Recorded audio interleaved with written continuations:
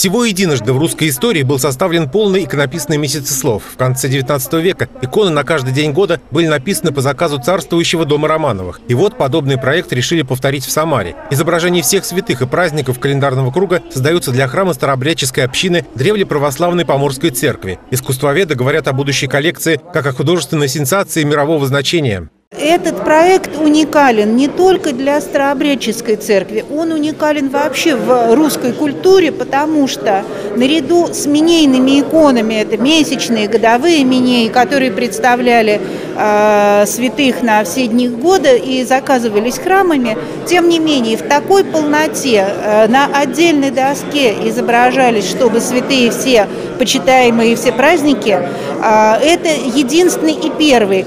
Их уже более 60 иконы сейчас выставлены в зале Самарского художественного музея, а всего будет написано 400 образов. Особую значимость работам придает и то, что создаются они без императорского изволения, а на средства простых прихожан. Вот только мастеров, владеющих старообрядческой техникой, сегодня не так много. Весь месяц слов пишут трое иконописцев, следуя канонам дониконовского православия и особо строгому уставу жизни.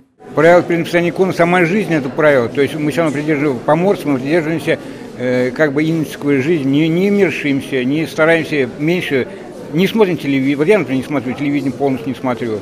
Ну, поститься само собой. Ну, много молишься.